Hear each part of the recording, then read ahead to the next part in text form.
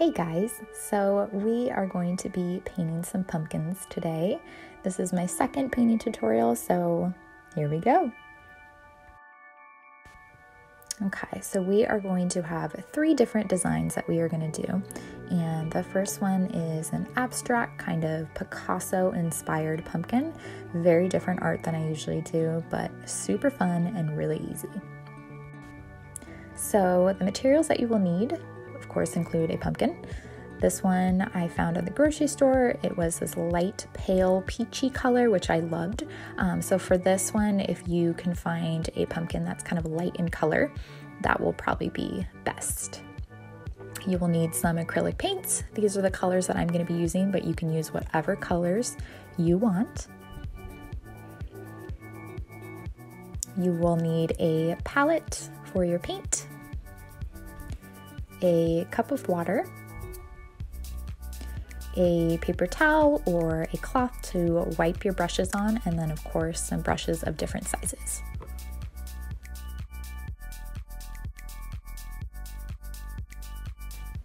You can also put your paints on um, wax paper. So I actually put my pumpkin on the wax paper and then laid out my paints right on it, which is super easy. And you can just throw it away when you're done and I'm obsessed with this kind of shimmery copper color. So any of metallic paints will look awesome as well. Um, but I'm just gonna get started and start painting some random shapes. I'm doing some rainbows, some spots, um, some rectangular shapes, some circles, um, just kind of have fun. It's an abstract inspired pumpkin, so you can do whatever you want.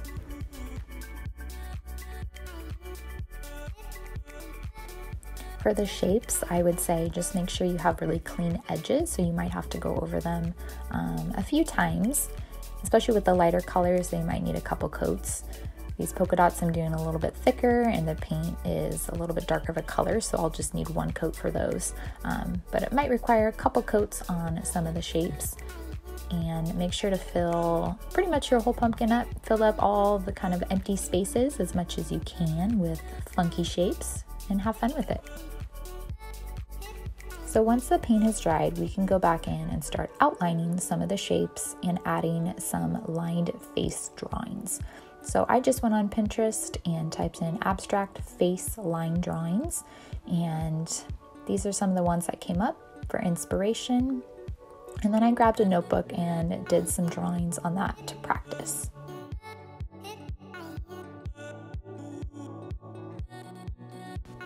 I then copied the face drawings onto the pumpkin and I found it easier to use a really thin paintbrush and some black paint as opposed to a sharpie or a pin. Um, I found this to be a little bit easier, it flows a little bit better, and it's a little bit faster and doesn't take the paint off from the shapes that you've already drawn.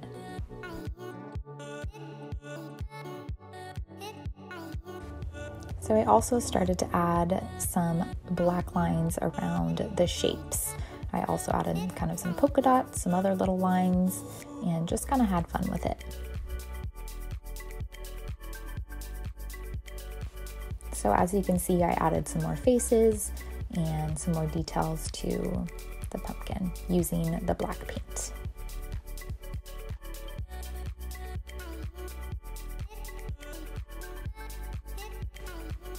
So remember to have fun with this. This is an abstract painting, so it does not need to be perfect. The lines do not need to be straight. Um, it's also kind of hard to paint on a pumpkin, so give yourself some grace and just have some fun with it. So for the next one, you're gonna need a small white pumpkin and you're gonna need some wax paper, a bucket of some kind. I'm just using an old paint bucket some nail polish, it can be any color, some toothpicks, or I'm just using some straws, but toothpicks would be better.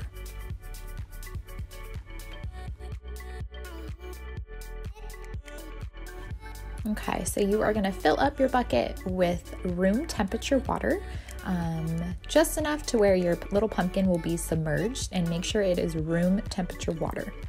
You're then going to pour in a little bit of your nail polish. And you can use as many colors as you want. Probably the more, the merrier. You're then going to get your toothpick and swirl the colors around to kind of get this marbling effect. And then you are going to dip your pumpkin into the solution. Then go ahead and set it on your wax paper to dry. And you might need some nail polish remover to get some nail polish off your nails and fingers when you're done. But the end result is pretty cool.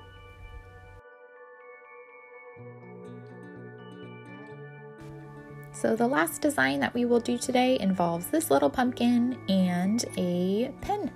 I'm using a white acrylic pen, um, but you can also use a Sharpie for this one as well. So you're going to grab your pen and write the prompt I am thankful for. You are then going to list all the things that you are thankful for. This could be a really fun family activity where everyone adds what they are thankful for to one pumpkin, or each family member has their own pumpkin. But by the end, it should be totally filled up and look something like this. I hope you guys enjoyed my pumpkin painting tutorial. Please tag me in your guys' creations. I would love to see what you guys do. And remember, keep art fun and relaxing, and it should be therapeutic. Um, so just have fun with it and enjoy.